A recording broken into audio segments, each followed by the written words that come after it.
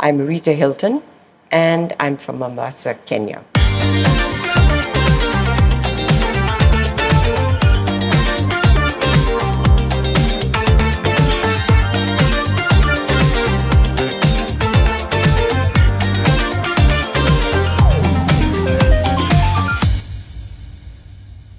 The, the person that I met was to become my husband. His name was Guy. The bond got very, very close and, and, and strong.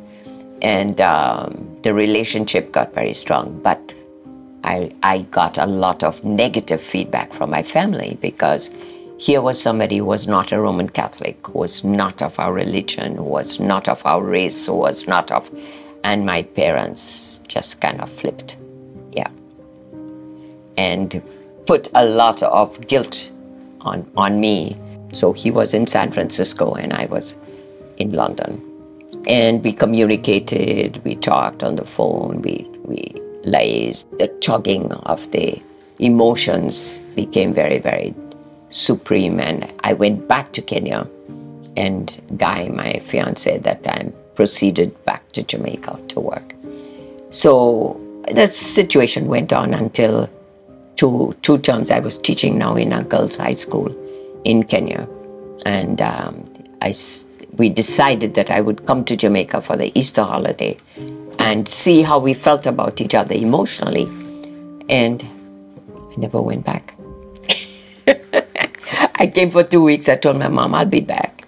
I never went back. And that was it. That's the story. And I stayed in Jamaica and got married two weeks later. And 55 years, here am I. Very precocious, very rebellious, very going against the standard, pushing, um, did, broke the rules all the time. yes. I've, I've tempered since then, but yes, I was in love. Simple. That was it. That's what ruled my mind, my heart, everything. Get married and, and still be that, although that marriage broke up later, much later. We are still friends and he's the father of my children and I would do it all over again, but I'd handle it a little differently. So I started teaching almost immediately because there was no geography teacher at Mount Alvernia High School. And um, so they were very happy to have me there. And I started to do practical field work, which they'd never done, and thinking outside the box. And so it was a very good experience being based. And I was able to travel on the railway from Montego Bay to Kingston. It was such an amazing experience. And um, I, I miss that part of, of Jamaica, you know. And when I when we eventually came into Kingston, I now find, found a job teaching at, at St. Hugh's High School, where I taught for another 14 years. So it was just very fulfilling. Those were the amazing days of my life. I just found teaching a very fulfilling and rewarding occupation and profession. I just loved it. I taught for many years, and now my kids, my own kids, were growing up and getting ready for university. And my husband was a civil servant and I was a teacher. And we just couldn't find a way to get them to university. And although we had got scholarships, both of us, those opportunities now were no longer because remember the countries were independent and they were already fulfilling their, their roles uh, in terms of professions. Now we had to find a way to fund these kids. So he was still in the forestry profession. Um, and so I, I decided to make the change. And the first job I went into was banking, which I did not enjoy. It was very boring. And I was watching the clock. You know, where with teaching, I was constantly timing my lessons and I never had enough time. I was marking books and, and teaching kids and going on field trips. I just, I, I couldn't wrap my head around this the, the, the numbers and the no no i just couldn't and that didn't last more than a year and i had to leave and then i found another opportunity the opportunity in that sector came to a head because again i was making decisions and it had to go through four five levels of management and i found it very very frustrating and eventually got fired So I decided I am not going to work for anybody anymore. I am going to try and find an opportunity. It was very depressing. Don't get me wrong. It wasn't, you know, I'm finding my feet and I'm exhilarated and and here am I going into into business. It was a soul searching time and a depressing time because I thought I really wasn't good for anything. Um, I, I could not find my soul or my niche or whatever you want to call it. I just couldn't find it. So I went through a very difficult time at that time. But um, there was a friend of a friend in New York, and he said to me, Why don't you ship me some Scotch bonnet peppers? I need some peppers in New York. And the Scotch bonnet peppers really have the flavor and the intensity of what I want. For that time, it seemed to me large. But In terms of now, it wasn't a large shipment, but it meant then I had to go through the whole process of learning about exports. And at that thyme, it was by air, and it was Air Jamaica. So, and that led to breadfruit, and that led to time, and that led to other things as the demand grew and the business grew. But it was, it was quite tedious, it was quite onerous, and there was no handbook. You had to get a license for this and a license for that, and go to this agency and that agency um, to register and go to customs and fill out tons and tons of forms. And also, you had unscrupulous buyers in there, right? The first one I dealt with was very fair and wonderful.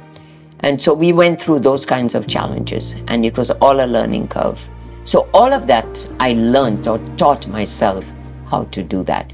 And I just had one person with me. At that time, it meant packing, it meant loading the truck, it meant going to the airport, it meant doing the shipping documents and doing every little thing. When I started, I just made contact with different farmers. I was able to make some connections, mainly by visiting farms, going to farmers, and getting the produce. The banks, they were very difficult. Again, being a woman, uh, the first the first loan I got, they wanted my husband to sign, not me. And then you know you had that era when the interest rate went sky high.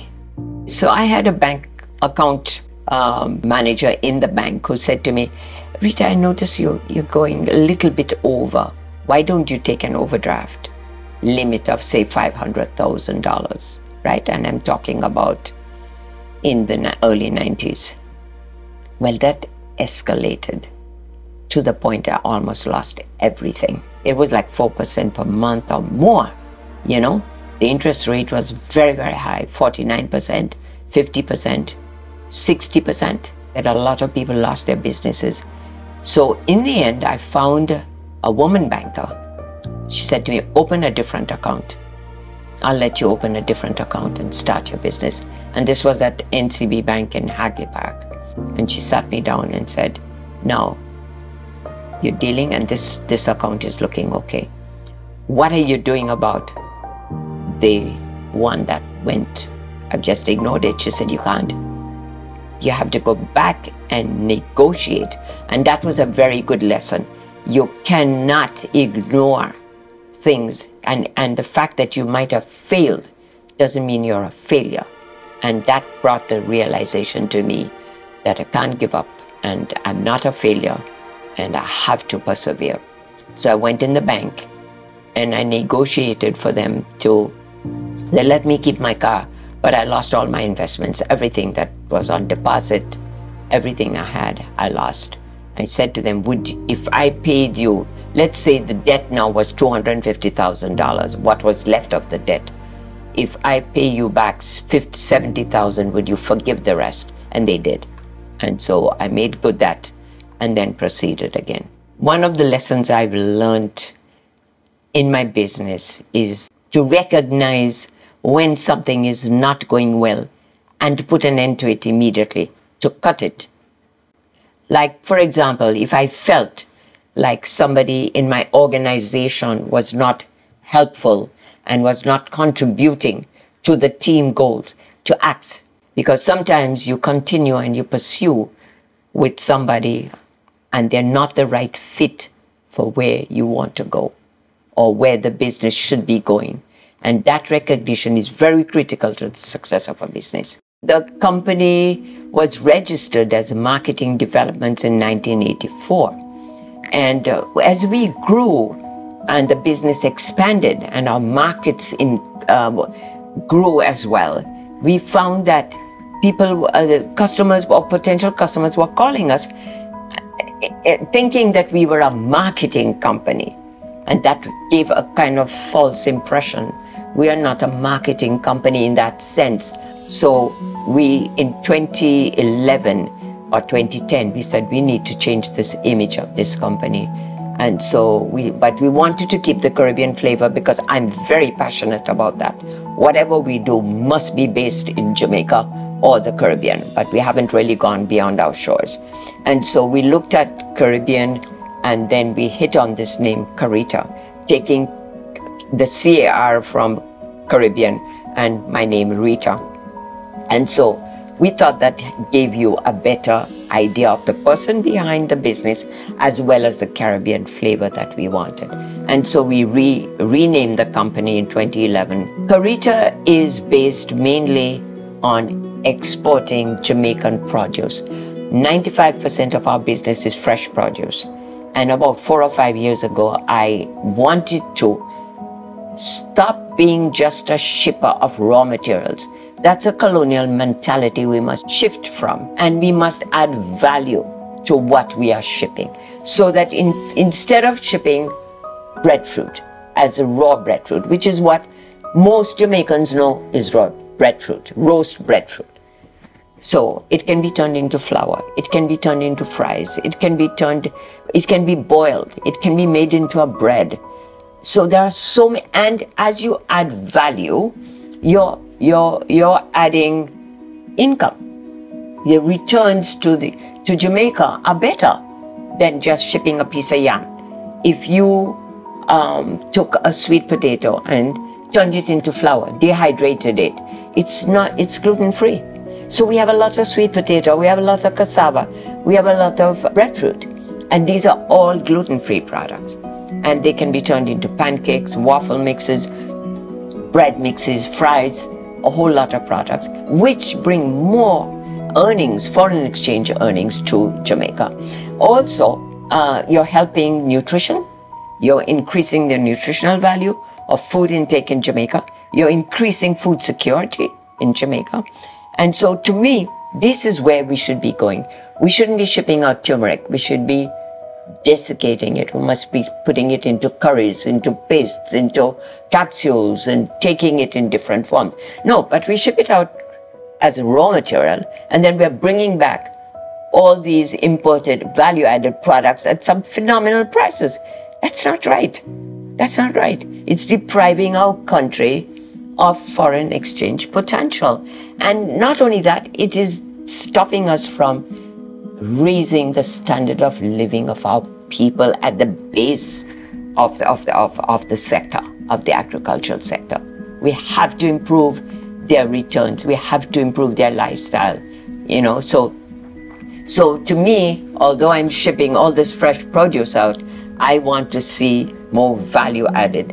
And as I said, this is how we grew into adding a dimension of value added products. So it's a gluten free flour um, we opened a, a, small but very interesting market on the west coast of the US into a Pacific Island population uh, concentration that wants all kinds of breadfruit products, from boiled to, to roasted to, to baked to fermented breadfruit, flour.